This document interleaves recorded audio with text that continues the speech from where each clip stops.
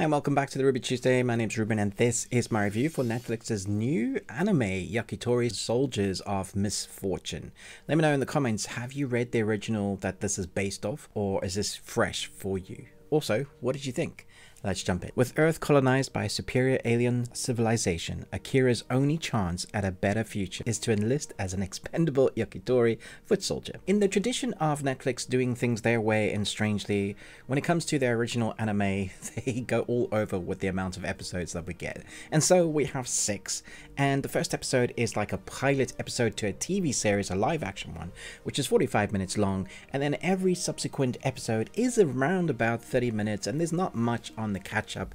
So you're looking at about 28 minutes episode, which is slightly longer than the normal kind of 22, 23 minutes, depending on the intros and outros of animes that we normally get.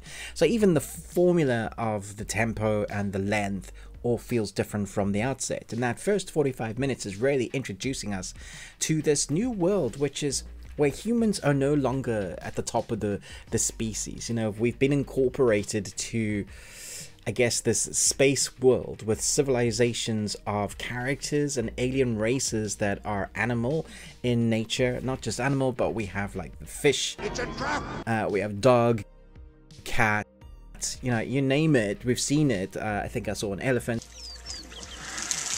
So there's all these different species that are intelligent. So animals on Earth obviously are, are intelligent, but as far as we know, not quite intelligent as alien species that are capable of building massive planet-shaping civilizations, unlike the octopus, which I, I believe they are aliens anyway. As we are placed in, I guess, watching Akira, it's very interesting to me that I guess this is more story about war and the toils and the tolls that war takes place are not just the individual that is experiencing it or having to fight in it, but the many faceted layers of war that there is around. And so that is like a theme. It's it's a wider theme that's in there, and it's never preachy. It's just kind of there, and you notice it as our team are formulated to be the first human team that is not inundated with a specific kind of download of information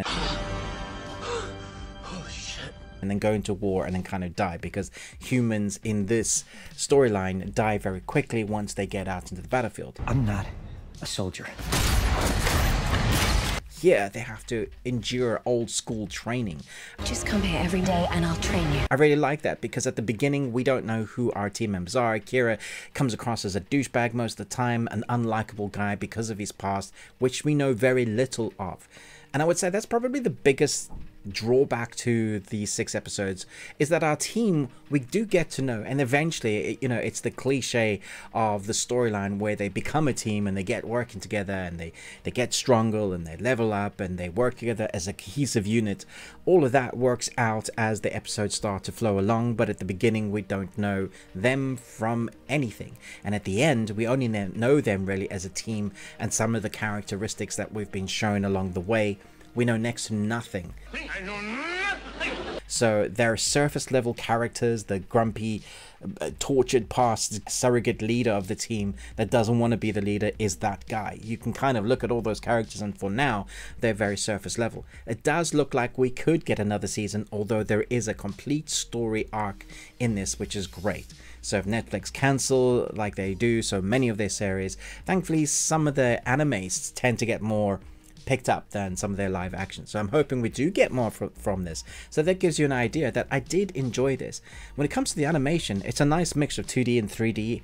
I really like the artworks. Sometimes I really just get taken back by the 3D and taken out of the immersiveness in it. And I just don't like what they've done with some of the other adaptations when it comes to this 3D. But the quality of work here, the explosions, the way they show the planet, the kind of shanty town planet drawings of that looked amazing. Training on Mars, the training on their new planet that they're going to. I like how it starts, the flow gets you right into the action and kind of doesn't let up. Like it's it's an action heavy series until the last episodes, episode six, where they really are paying for having been puppets or toys of things that are just placed and used to be in this war.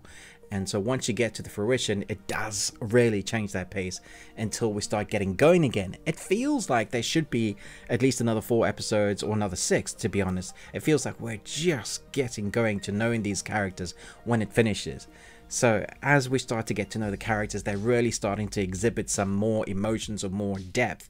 And that's when it finishes, which is frustrating because you've been on board, you're kind of on board the underdog storyline, the, the fish out of water placing humans that are not as strong or as equipped to deal with some of these uh, species that they encounter, the mechanoid battles that they have to find, the, the crab like ghost in the shell like enemies that they have to fight with what seems like uh, their equipment is good but not quite as good. And so it makes them the underdog the whole time. And then you get this filter of classical music in the background that is always kind of with the humans. And it plays in the background at key moments and really does add a layer to what's going on in the story. It's so contrast to the war that's going on that it kind of fits and works. You don't think it should. But i've seen this technique used a number of times in anime. When there's intense intense violence going on in screen and then this classical overtune which doesn't detract from it but somehow elevates the tone and the mood that they're going for. It's very clever and if done well works out for the best at elevating that anime to uh, another level. And then it comes down to the editing, and there's some amazing transitions. One particular stands out. There was a food scene that transitioned into a mountain, and I just thought it was so clever the way they did that. And normally I pick that up in like a live action film.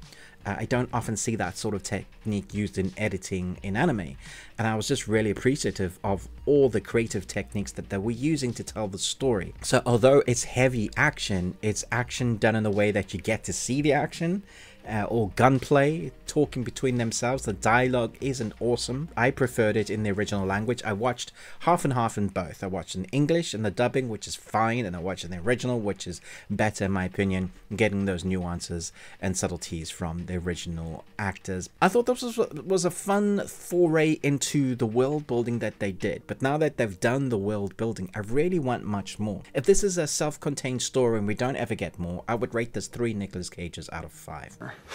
and you got one. Congratulations. If this means we're if we're gonna get more and they confirm it soon, then this will probably go up to a four. and you got one. Congratulations. Because this means it's just the origin story. We don't know much about their background story, but you like them as characters and and you like them as the underdogs. So let me know in the comments below what you thought about this. Had you even heard of this? It doesn't seem like Netflix are doing any advertising or marketing for this. I saw a intro on YouTube clip. I haven't seen an official trailer from them. It just seems like this is one of those in the back burner. So if you're looking for some new anime that's on there today, maybe go check this out. I thought it was quite a lot of fun. Thanks so much for watching, but most of all, until next time, remember, live long and Tuesday.